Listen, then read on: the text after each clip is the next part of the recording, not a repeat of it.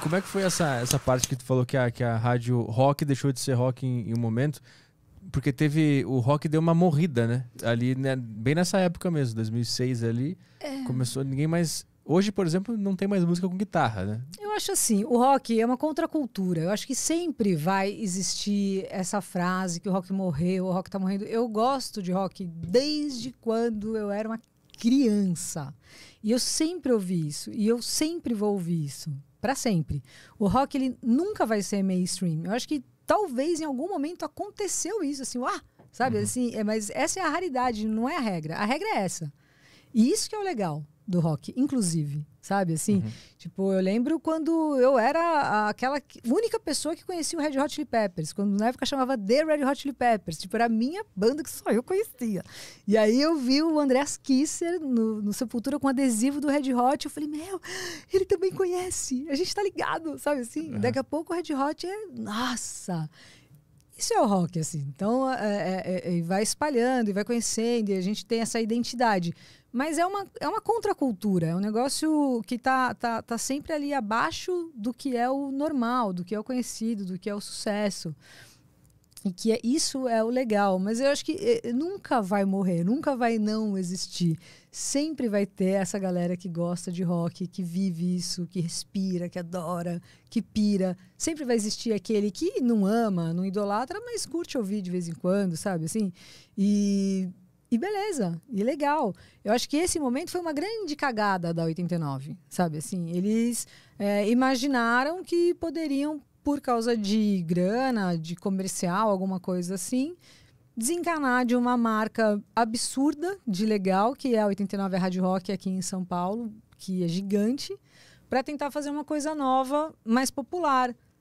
Cagou na tanga, deu errado. Mas sabe, isso foi assim? porque eles viram que o rock já não tava mais dando tanta audiência? Não, a audiência era legal, como sempre, assim. Talvez um pouco abaixo naquele momento, mas nada, tipo, nossa, show de horror, sabe, assim? Isso foi 2006, né? É. Que- É, eu acho que foi por ali que foi a última leva de, de bandas que usavam guitarra, né? Que, que fizeram sucesso, assim. Sempre tem banda com guitarra. Mas que faz também. sucesso. que faz sucesso, tanto, tanto sucesso quanto. Não tem um. Por exemplo, assim, ó, eu lembro. É, tinha lá o Van Halen, puta, fritação, Ing Malmsteen. Teve essa fase que era fritadeira total. Aí entrou o grunge. Eu vivi os anos 90 naquela idade que a gente da música que a gente não esquece mais, que a gente não deixa mais de ouvir, sabe? Aquelas bandas que você ouvia com 16 aos 23, provavelmente você vai ouvir essas bandas para sempre Sim, sim. não é? Aham. E essas bandas dos 16 aos 23, as que eu ouviam eram Fate No More, Red Hot Chili Peppers, Suicidal Tendencies, Anthrax, Sepultura, Stone Temple Pilots. E aí, essas bandas, elas, uh, o Van Halen, e aí esses caras, o Kiss, eu vou lembrando, da e Infectious Grooves. E aí, beleza. E aí eu fui vendo o, o nascimento do grunge. Eu lembro quando eu ouvi isso daí, eu aquilo pra mim não tinha guitarra. Olha que loucura. é? Ah, pô, não tem guitarra, cara, que bosta. Qual foi a primeira coisa que tu ouviu de grunge nessa Porque, época? o Nirvana. Foi o Nirvana. Porque daí você fala assim, meu, não tem guitarra. Comparado ao Wing Mouse, comparado Uhum. ao Van Halen. Só que aí quando você vai ouvindo mais, você fala, cara, olha que legal, é mais legal ainda. Mas na, mas na época, a, a turma que gostava de rock aceitou o grunge ou foi não, uma resistência? uma foi? puta resistência. E, e é- e isso acontece sempre. Uhum. Eu lembro em 89 quando eu toquei o Couro Vai Comer. É tipo, mano, que horror. Eu lembro no Rio de Janeiro, a galera, sabe assim, quando ia mostrar, meu, tu não sabe o que aconteceu. Que, que é isso? Que bosta é essa falando meu e tu na mesma sentença, sabe? Sim. Assim, O couro vai comer. o couro vai. Que, que coisa horrorosa é essa? Né? Assim, eu, eu lembro. A única banda que eu lembro de ter tocado e ter feito sucesso instantâneo foi Mamonas Assassinas. Ah, Apenas. O resto, assim, quando a gente vive um sucesso, a gente não sabe que aquilo vai ser um sucesso. Uhum. Você, você vive aquilo e fala, é uma merda, sabe? E aí o Nirvana eu amei na sequência. Eu falei, cara, isso é maravilhoso! Eu comecei a gostar mais até do que Van Halen. Foi assim. E aí veio Stone Temple Pilots, é, Soundgarden e essas outras bandas. E ali eu não sabia, mas aquilo era o grunge total nascendo e sendo um negócio absurdo. Por Jam, o Ten, até arrepia de lembrar a primeira vez que eu ouvi o Ten. Eu falo, cara, que que é isso, cara? É, é- é surreal, sabe? Assim, aquilo é. Até hoje eu ouço e falo, o que, que é isso? E tu, quando eles vieram pra São Paulo, o Nirvana, tu foi no show? Daquele show Não. que parece que foi. Será que foi ruim, né? Que ele tava doido. Tu não foi Com nesse show? o, o Gordo, que é muito amigo meu, o João Gordo, a gente fez programa junto e tal, falou que tava. Falou que tava, tipo, meu, tava só o pau da rabiola. Que assim. atrasou uma hora, que o cara Ah, tava é, muito louco, né? é, eu, ju- eu vi os, os relatos do João Gordo sobre esse, É. esse show. Falou que eles saíram de lá, foram pra um puteiro, fecharam o puteiro. Falou que meu ele tava muito arrastado, assim. Tipo, tava, tava arrastado. O cara era, tipo, tava, tava mal. E, e depois, quando. Depois do Grunge, acho que vem o New Metal, né? O, a junção de É, rap que é com outra rock. coisa que eu acho demais. Muita gente meteu o pau também no new É. metal. Ah, banda é bosta, você não Mistura rock. rap com guitarra. Que... Pô, rap com guitarra, o Public Enemy fez isso, o Aerosmith maravilhoso. Walk This Way, sens- o Run DMC Aham. fez isso e é sensacional, cara. Já, nossa, a primeira vez que eu vi, eu já gostei de cara. Falei, cara, que coisa linda, é muito bom, né? Então, assim, é, já existia e já era legal, sabe? É, eu não vejo problema nenhum no new metal. Pelo contrário, eu acho que aquilo é, é uma solução. Eu, eu acho muito bom. E muita gente mete pau. Eu lembro que quando eu ia discotecar, com o DJ também, o Thiago tinha uma aparência, só aparência, igual o Jimmy, que eu usou ele quando eu vou entrevistar o Jimmy, né, do Matanza. Eu falo pra ele, falo, Jimmy, eu já vou chegar queimando seu filme. O Jimmy é um fofo. Ele não fala isso.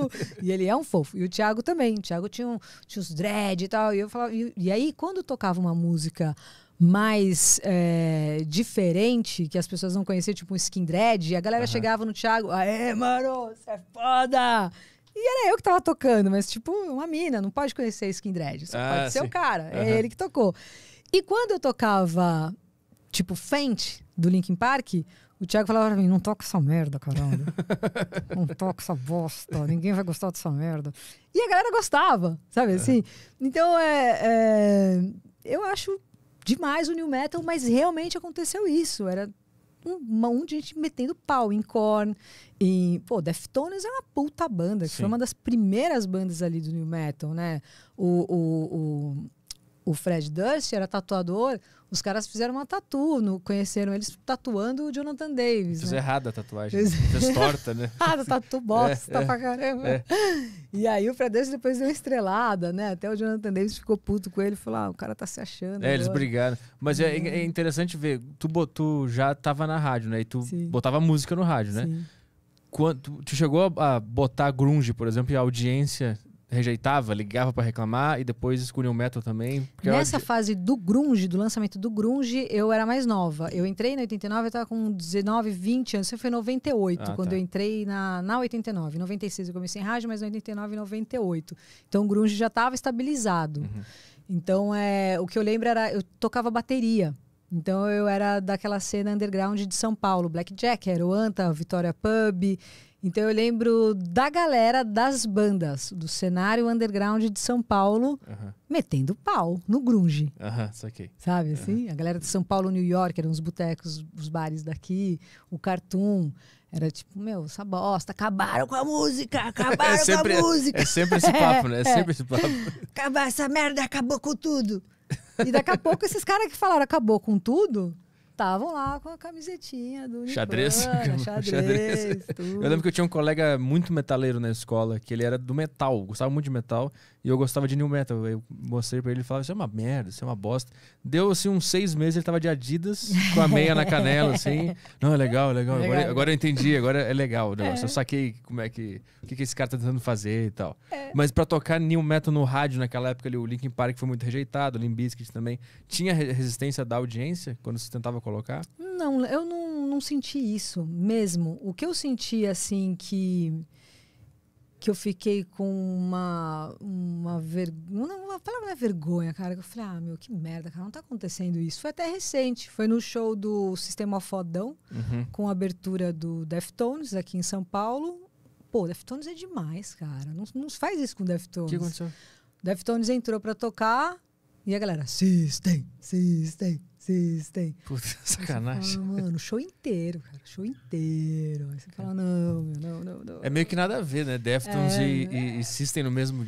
É que o, o, o Serge Tankian, né, o Darren, os caras são muito fãs, né, de, de... É tipo você ter uma banda e chamar uma Tanza pra abrir, Aham. sabe? Só que a sua banda ser outro, outra pegada. É, é tipo você realizar um sonho. Sim. aham.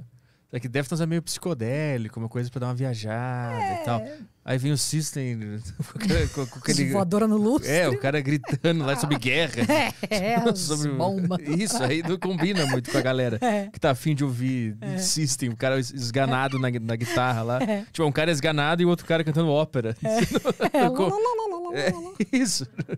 E o antes é o Chino Moreno fazendo uns. É, as- feiticeira. Isso, isso. Back to School, É, Digital nossa, é animal, é animal. Puta, eu ouvi muito esse CD, É esse o, muito o bom. White Pony, É, né? White Pony. Puta, eu ouvi muito. E Skin Dread também eu ouvi muito também. É, Mas é uma banda mais desconhecida, né? É, devia ser bem conhecida. Pri- Principalmente o Babylon, que é, é um álbum assim que eu acho sensacional. Eu gosto de todos, né, do Skin Dread. Eu acho incrível, acho uma banda foda arara. Criativo. assim. E aquele cover de Bob Marley que eles têm. Muito bom. Rat é, Race, né? Rat Race. Puta, aquilo lá é muito bom. é Aquilo lá é incrível. bom, é, eu gosto Outra, a gente, a gente passou uma ontem aqui que é de New Metal também, Non Point. Essa eu não conheço. Ah, essa é do caralho. É meio, é meio, é meio skin dread, assim, no ah, sentido vou procurar que saber. são for assim. imigrantes e É. tal, porque o, o cara do skin dread é da Jamaica, né? É um de cada canto, né? É. Tinha uma banda que, era, que tinha um de cada canto, que era Il Ninho.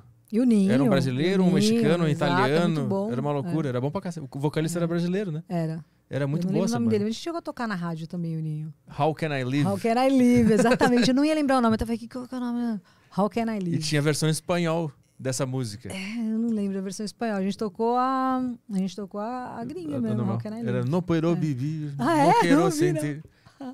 Tu eres parte de mim. O How Can I Live era assim. Era legal, meu Júlio Iglesias, assim, ficava. É um Júlio Iglesias com sepultura no fundo, É? assim. É muito bom, muito interessante. é muito interessante. Puta, tem um monte de banda. Eu sou da época do New Metal, então eu entendo mais de New Metal do que de, de grunge e tal, de, de outras, de outras bandas. New Metal é demais. né? Você gosta de, tipo, sei lá, Bring Me The Horizon, bandas assim? Aí não. gosta? Eu, Não, eu- por isso que eu abandonei, porque o, o New Metal perdeu o posto depois pro emo e pro metalcore, né?